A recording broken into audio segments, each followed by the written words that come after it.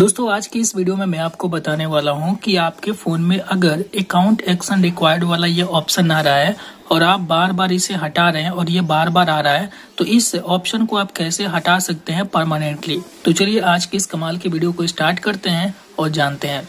तो दोस्तों, सबसे पहले आपको करना क्या है? आपको अपने फ़ोन के सेटिंग को ओपन कर लेना है। तो चलिए हम यहाँ से अपने फ़ोन के सेटिंग वाले एप्लीकेशन को ओपन कर लेते हैं। तो यहाँ पर देखिए सेटिंग का एप्लीकेशन दिखाई दे रहा है। हम इस पर क्लिक करके इसको ओपन कर लेंगे। तो जैसे हम इस पर क्लिक करेंगे तो आपके सामने कुछ ऐसा इंटरफेस देखने को मिलेगा, जैसा कि आप लोग यहाँ पर देख रहे हैं।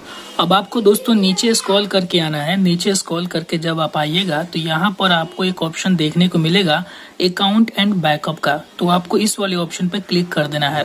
क्लिक करते ही आपके सामने कुछ ऐसा इंटरफेस देखने को मिलेगा और आपको यहाँ पर बहुत सारे ऑप्शन देखने को मिलता है। अब आपको करना क्या है दोस्तों? सबसे ऊपर में आपको एक ऑप्शन देखने को मिलेगा मैनेज अकाउंट का। तो आपको इस पे क्लिक करके इसको ओपन कर लेना है। ओपन करते ही आपके सामने कुछ ऐसा इंटरफेस देखने को मिलेगा। यहाँ पर आपके फ़ोन में जितने भी ईमेल आईडी होंगे, सारे ईमेल आईडी आपको देखने को मिलेंगे।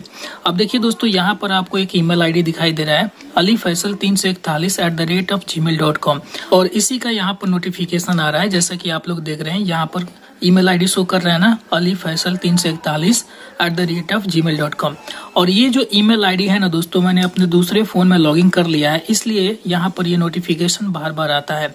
अगर आप भी अपने फ़ोन में आप अपने ईमेल आईडी को दूसरे फ़ोन में लॉगिन कर लिए होंगे तो इस तरीके का नोटिफिकेशन देखने को मिलेगा। लेकिन आपके फ़ोन से ये ईमेल आईडी डिलीट नहीं हुआ है, रिमूव नहीं हुआ है, इस वजह से ये सारी प्रॉब्लम होती है। तो हम क्या करेंगे, इस पर सबसे पहले टैप करेंगे। टैप करते ही आपके सामने कुछ ऐसा इंटरफेस आ जाएगा। अब आपको करना क्या है? आपको यहाँ पर रिमूव अकाउंट का ऑप्शन देखने को मिलता है। बस आपको इस पे क्लिक कर देना है। रिमूव अकाउंट पर जैसे क्लिक कर देंगे तो आपके सामने यहाँ पर एक छोटा सा पेज ओपन होगा और यहाँ पर आपसे रिमूव अकाउंट करने के लिए बोला जाता है। तो जैसे आप रिमूव अकाउंट पर क्लिक करेंगे तो यहाँ से आपका रिमूव अकाउंट वाला जो ऑप्शन है ना, जो आपका ईमेल आईडी है, वो यहाँ से रिमूव हो जाएगा। अब यहाँ पर देख सकते हैं दोस्तों, नीचे स्क्रॉल करके, जो यहाँ पर आपको नोटिफिकेशन में मिल रहा था अकाउंट एक्शन रिक्वायर्ड वाला, वो यहाँ से हट गया है। अब आपके फ़ोन में कभी भी इस तरीके का प्रॉब्लम नहीं होगा। तो आई होप दोस्तों, इस वीडियो को देखने के बाद आप अच्छे तरीके से समझ गए होंगे कि किस तरीके से अकाउंट एक्शन रिक्वायर्ड वाले ऑप्शन को रिमूव किया जाता है। अगर आपको ये वीडियो पसंद आई तो वीडियो को लाइक कर दीजिएगा। और चैनल पर पहली बार है तो चैनल को सब्सक्राइब करने के साथ साथ बेल आइकन को दबाकर ऑल पर प्रेस कर लीजिएगा। मिलते हैं एक नए वीडियो में, तब तक के लिए।